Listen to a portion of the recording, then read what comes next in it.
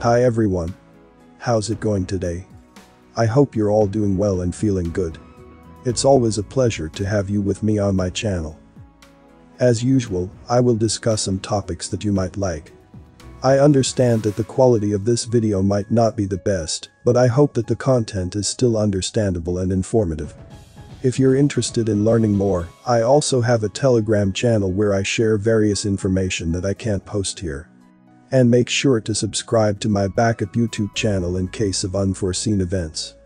So, without further ado, fasten your pants and let's get started.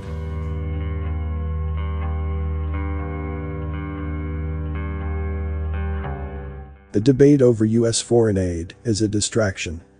That's not to say that the amount of taxpayer money flowing to foreign countries in the form of military and economic assistance is insignificant. Even at less than 1% of the federal budget, the United States still spends more on foreign aid than any other nation. The latest foreign aid spending bill includes $95 billion for Ukraine, Israel and Taiwan. Since World War II, the US has given more foreign aid to Israel than any other country, $318 billion, with the bulk of those funds designated for Israel's military efforts. Even so, more than 150 countries around the world receive US taxpayer-funded assistance. As Forbes reports, US foreign aid dwarfs the federal funds spent by 48 out of 50 state governments annually. Only the state governments of California and New York spent more federal funds than what the US sent abroad each year to foreign countries. Whether or not that some of that foreign aid is used for legitimate purposes, the global welfare system itself is riddled with corruption and waste. As Adam Andrzejewski rightly asks, do taxpayers instinctively know that they are funding choir directors in Turkmenistan, filmmakers in Peru, aid for poultry farmers Tanzania, and sex education workshops for prostitutes in Ethiopia. The problem is not so much that taxpayers are unaware of how their hard-earned dollars are being spent. Rather, we the people continue to be told that we have no say in the matter. We have no real say in how the government runs or how our taxpayer funds are used, but that doesn't prevent the government from fleecing us at every turn and forcing us to pay for endless wars that do more to fund the military-industrial complex than protect us, pork barrel projects that produce little to nothing, and a police state that serves only to imprison us within its walls. This financial tyranny persists whether it's a Democrat or Republican at the helm. At a time when the government is spending money it doesn't have on programs it can't afford, the national debt continues to grow, our infrastructure continues to deteriorate, and our borders continue to be breached. What is going on? The government of the people, by the people, for the people, has been overtaken by a shadow government, a corporatized militarized entrenched global bureaucracy that is fully operational and running the country. This powerful international cabal, made up of international government agencies and corporations, let's call it the global deep state, is just as real as the corporatized, militarized, industrialized American deep state, and it poses just as great a threat to our rights as individuals under the US Constitution, if not greater. Clearly, we have entered into a new world order. Fascism on a global scale. It remains unclear whether the American deep state, a national security apparatus that holds sway even over the elected leaders notionally in charge of it, answers to the global deep state, or whether the global deep state merely empowers the American deep state. However, there is no denying the extent to which they are intricately and symbiotically enmeshed and interlocked. Consider the extent to which our lives and liberties are impacted by this international convergence of governmental and profit-driven corporate interests in the surveillance state, the military-industrial complex, the private prison industry, the intelligence sector, the security sector, the technology sector, the telecommunication sector, the transportation sector, and in recent years, the pharmaceutical health sector.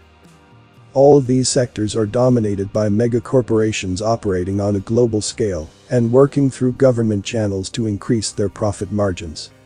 The profit-driven policies of these global corporate giants influence everything from legislative policies to economics to environmental issues to medical care. Before I continue the video, please give a like if you learned something. Also, don't forget to subscribe and click the notification bell so you won't miss any update. Finally, watch until the end to avoid any misunderstanding. Thank you.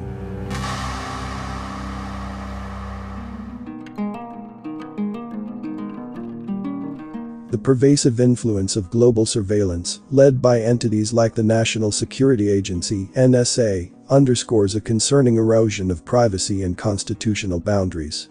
Operating hand in glove with corporate giants like AT&T, the government expands its surveillance apparatus exponentially, transcending legal and ethical constraints.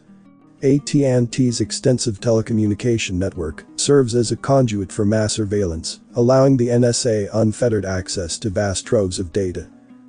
This symbiotic relationship, veiled in secrecy, blurs the lines between public and private sectors, perpetuating a cycle of governmental overreach and corporate complicity.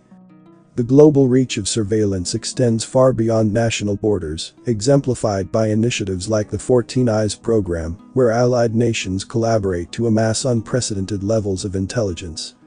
However, surveillance represents merely the visible surface of broader global alliances, hinting at a deeper nexus of power and control that threatens individual liberties worldwide.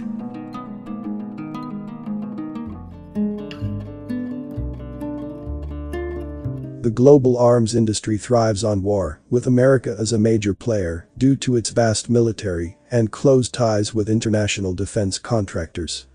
The military-industrial complex perpetuates perpetual warfare worldwide, with American troops stationed in over 70% of countries.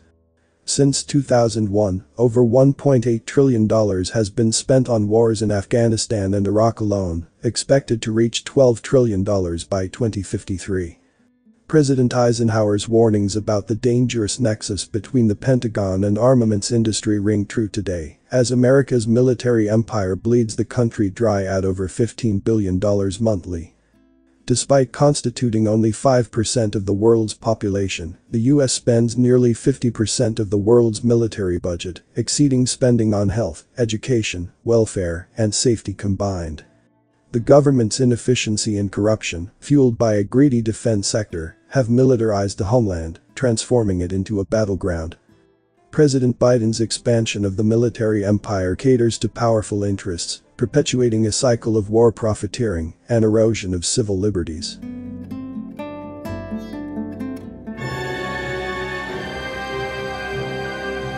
Global policing is evident in the uniformity of militarized tactics among police forces worldwide. The exchange program between American police and allies like Israel underscores this phenomenon, with American law enforcement learning from agencies accustomed to military rule rather than civil law. Programs like the Strong Cities Network further solidify this global approach by training local police to combat extremism and intolerance. However, the concern arises regarding the potential labeling of lawful activities as extremist. Government agencies, supported by fusion centers and advanced technology, aim to identify and deter potential extremists, blurring the line between preventive measures and ideological policing.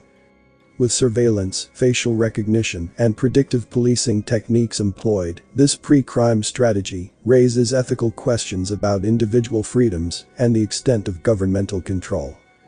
As global initiatives expand, the implications for civil liberties become increasingly profound, signaling a shift towards preemptive ideological enforcement. Are you starting to get the picture now? The government and its global partners have struck a deal that puts the American people on the losing end of the bargain. On almost every front, whether it's the war on drugs, or the sale of weapons, or regulating immigration, or establishing prisons, or advancing technology, or fighting a pandemic, if there is a profit to be made and power to be amassed, our freedoms are being eroded, while the global deep state becomes more entrenched. We've been losing our freedoms so incrementally for so long, sold to us in the name of national security and global peace, maintained by way of martial law disguised as law and order, and enforced by a standing army of militarized police and a political elite determined to maintain their powers at all costs, that it's hard to pinpoint exactly when it all started going downhill.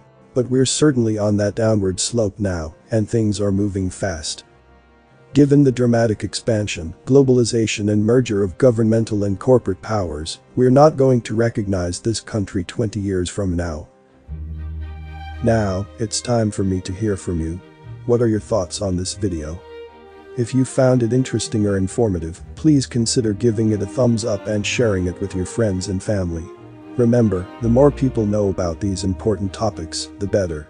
Before we wrap up, I want to extend a huge thank you to all the individuals who dedicated their time and energy to research and gather the information presented in this video. Their efforts are truly commendable and have helped shed light on important topics that affect us all. Make sure to hit the subscribe button and turn on notifications to be notified when the next video is uploaded. Thanks for watching and I'll see you in the next one.